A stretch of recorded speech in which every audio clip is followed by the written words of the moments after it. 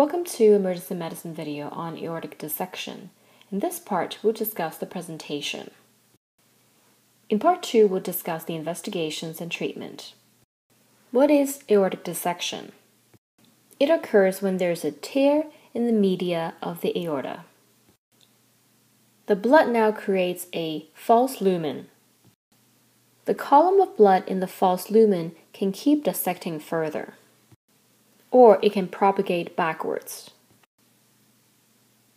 Aortic dissection is a must not miss diagnosis in the emergency department, since the mortality is very high. Aortic dissection kills in different ways. Number one, the false lumen ruptures. Patient now exsanguinates. These patients often die before they can reach the hospital. Number two, Let's look at the blood in the false lumen. Often, the blood in the false lumen clots. When the major arteries comes off the aorta, those coming off the section with the dissected flap will be full of clotted blood and therefore leading to ischemia to wherever these major arteries are leading to. That leads to infarctions from various organs, ranging from the brain, the GI tract, the kidneys, and so on. The third problem for aortic dissection has to do with the heart. A dissection can propagate backwards and start bleeding into the pericardium. As time goes on, that can cause a cardiac tamponade, leading to death.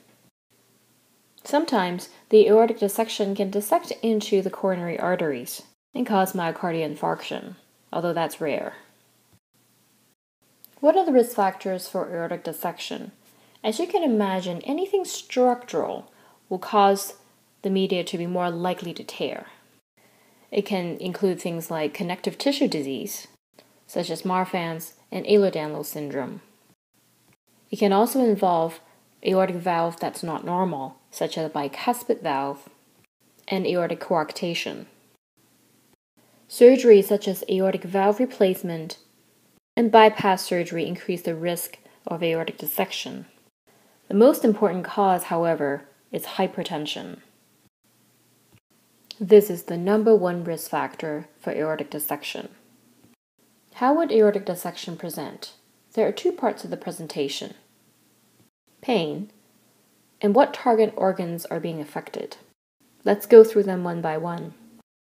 The classic pain for aortic dissection is a back pain this pain is interscapular, severe, sudden in onset, and maximum at onset. Patients sometimes can describe it as a tearing pain. The pain may sometimes radiate to the anterior chest. In terms of the end organ effects, it is all based on which end organs are being affected. If the carotid arteries are being affected, the patient would present with a CVA. If the pericardium is affected, then the patient might present with syncope or tamponade. If the gut vessels are being affected, then the patient can present with ischemic gut. If the vessels like the iliacs are affected, the patient might present with ischemic limb symptoms. Therefore, as you can see, based on the end organs that are being affected, the presentations may vary. We now move on to physical examination. We'll separate this into vital signs and specific end organs effects. As you may expect, on vital signs, the patient is usually hypertensive, with the exception that if they are in tamponade, then they will be hypotensive. However, for most of the patients, the patient's blood pressure would be high. Depending on where the flap is, there might be a difference between the patient's right arm and left arm blood pressure. It would usually be more than 20 to 30 millimeters mercury between the left and the right arm. Let's look at end organ effects. Based on what we discussed earlier, what do you think should be the physical signs of patients with aortic dissection? We'll be looking for signs of CVA, signs of tamponade. We would also look for an aortic insufficiency murmur.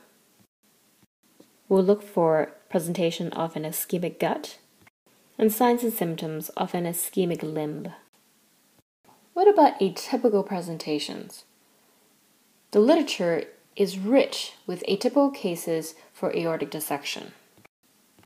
They're atypical in that either their pain is not typical, or the end organ effects are transient or limited. This has made aortic dissection very difficult to diagnose in the emergency department.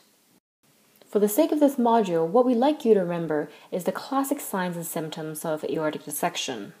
The tearing severe back pain, in conjunction with other signs such as CVA, tamponade, ischemic gut, or ischemic limbs. We hope you find this useful. In part 2, we'll discuss the diagnosis and treatment. Thank you for watching.